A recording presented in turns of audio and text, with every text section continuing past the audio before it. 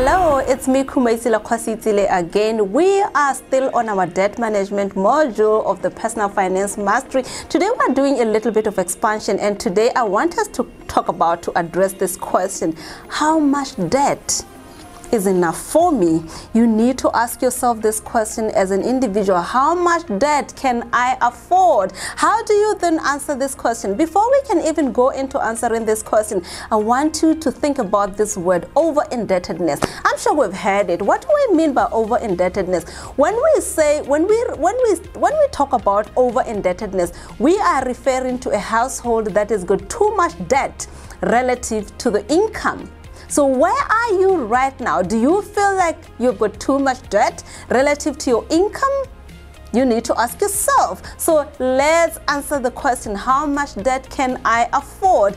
Normally, there is no right or wrong answer. It's really about you as well because you need to have boundaries in your life here, more especially when it comes to your money. Because if you don't set boundaries, everyone and everybody is going to sell you a product and you're going to end up taking it and committing a lot of your money. But remember, I always caution that too much debt can lead to financial difficulties. They're not joking when they say that. I'm sure you've seen this statement everywhere. Even our regulator is enforcing our debt service providers to really disclose this fact to everyone who is going to get into the debt market too much debt can lead to financial difficulties. But let's talk about how much debt can I afford? For us to answer this question, we look at what we call the debt to income ratio. This is a very important ratio. I want you to note it down.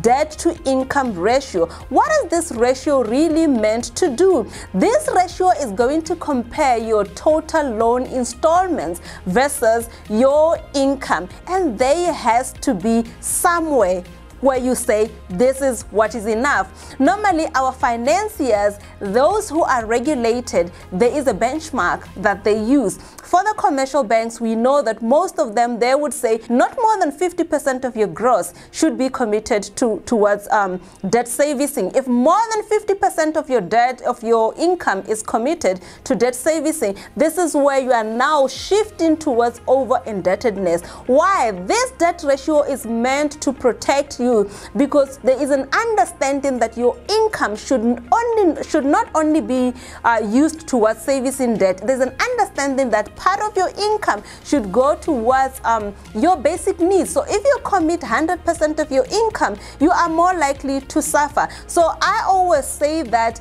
the lower the percentage, the better for you. If that percentage is high, it's an indication that you are over indebted. It's an indication that you are heading towards disaster. So, but we say that a lot of individuals find themselves in situations where the debt to income ratio is already high, like 70 or 80% of the income is committed towards debt servicing. So if you find yourself in that situation, where do you do? What do you do? Where do you look? Do you bury your head in the sand and say, oh my gosh, my life is over? What do you do? Because this is reality. This is reality of life. We're finding people who are finding themselves in this kind of situations and they need to get out. And it's very difficult. And we know that a lot of people are going through financial difficulties, financial distress because they have overcommitted their income. So my challenge to you is, is that set your own benchmark. If the financial services industry is saying 50% of your gross income, say maybe 30%, maybe I'm comfortable with 40%, set a benchmark for yourself so that you know what you're comfortable with paying. Because remember, at the end of the day, peace of mind is more important to you. For you to continue earning that income, you need peace of mind. So if you find yourself in a situation where you're over indebted, there are some debt management strategies that you can implement to make sure that you put your debts under control. We talk about these debt management strategies and let me just take you through the four simple things, the four simple strategies that you can implement if you're over indebted.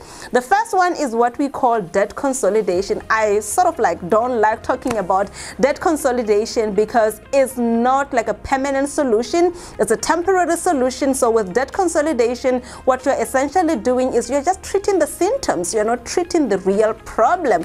So what is debt consolidation? So when you consolidate your debts, what you are doing is you are going to go to one financier take a big loan, use this loan money to settle all the other many loans so that at the end of the day, you are remaining with just one loan, one service provider to deal with. So you were overwhelmed because you had so many debts all over the place. Now you are sort of like putting them under one pot so you can only have one financier that you deal with. That is debt consolidation. You can realize here that you have not eliminated your debts, but you've just grouped them, you've just put them in a pot, but they're still there, you still have to pay them. So I say that if you go, you take the route of debt consolidation, there are certain steps that you have to take. First, you need to make sure that you are getting the best pricing out there. Negotiate the best interest rate because you are going to end up paying more in interest because with debt consolidation, what we have said, remember, is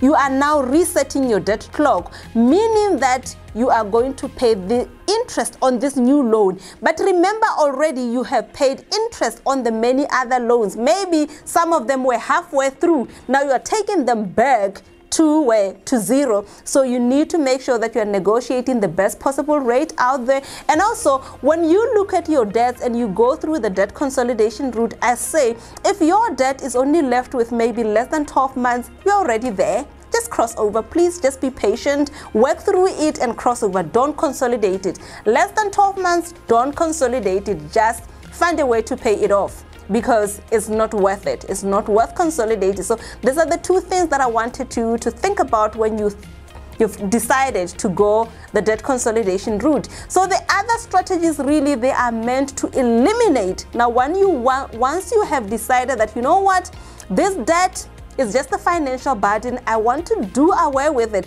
That is when we talk about debt elimination. And let's talk about the strategies that you can use.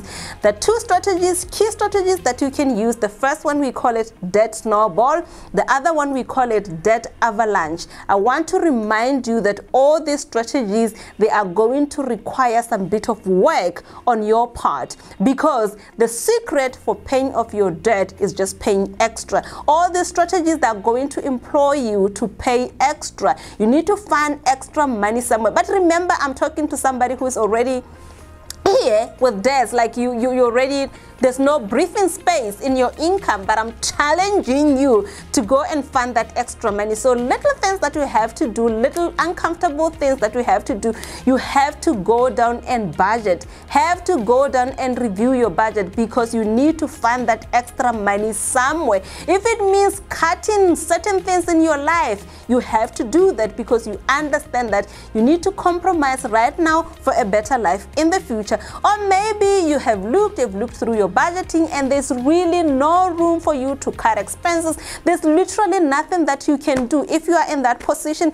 then I'm saying you still have the brains. You're still surviving. You still have the brains. Maybe it's time for you to think about expanding your means. Expanding your means, I'm referring to side hustling. Maybe it's time for you to think about what else can I do with my time? I'm working eight hours. What about the other hours? What can I do to create that extra money? Even if it's 200, even if it's 100 it's something. It's something it can take you somewhere. So once you have the extra money, now we move to the two strategies. Well, so with debt snowball, this is what you are going to do.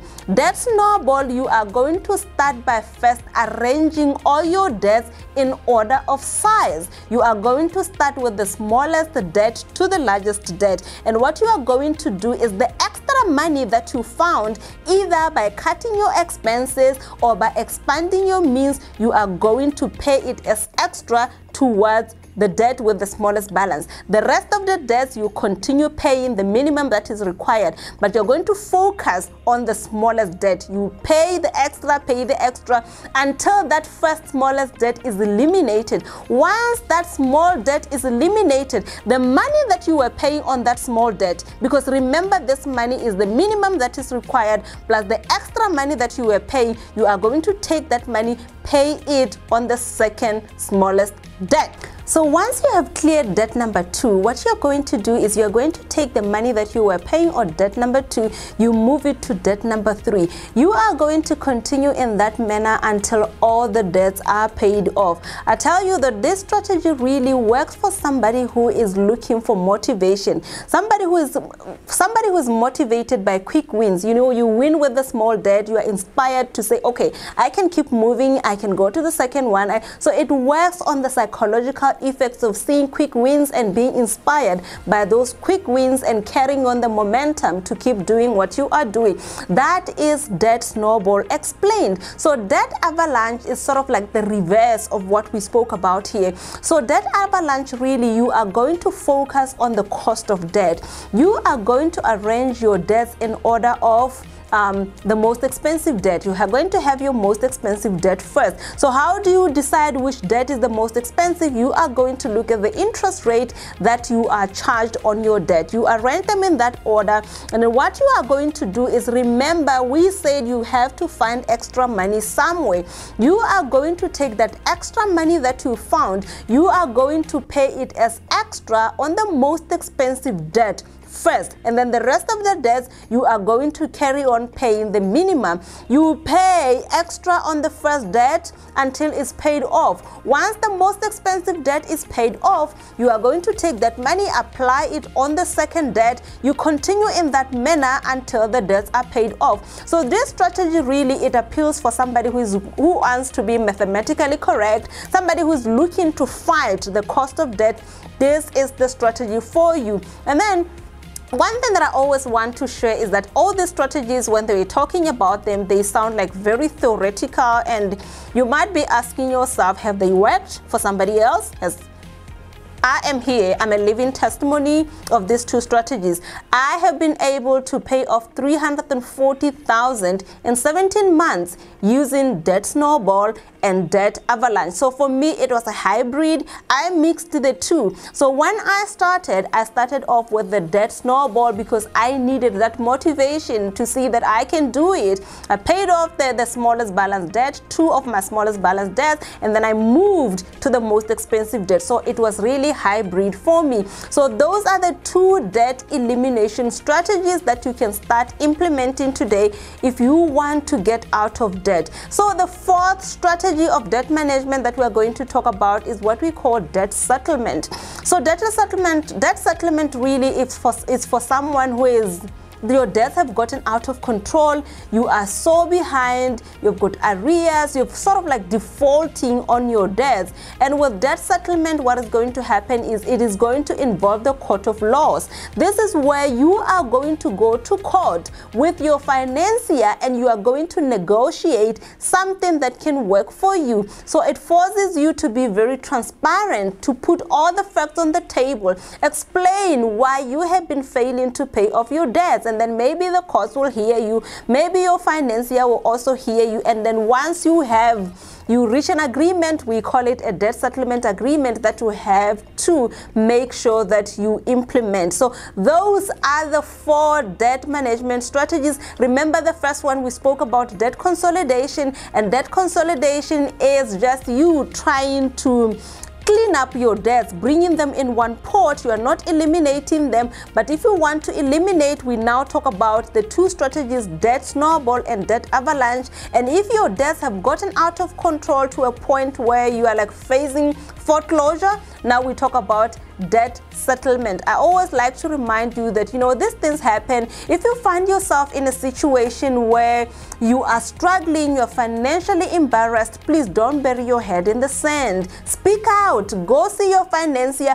Go talk to them. Be transparent and maybe they can help you because at the end of the day, they're looking at you paying them and you also want to pay them. So you need to demonstrate that willingness by being transparent, by being upfront, by being proactive and taking action because debt is part of our lives and sometimes things happen, things that are out of control that are going to lead you into financial difficulties. But I always like to remind you that if you're going through financial difficulties, it's not the end of the world. You can come out of that situation. So this is really the conclusion of our debt management strategy or debt uh, module, debt management, and I hope you there's something, one or two things that you will take and implement in your life. This is all that I had for you. Thank you very much.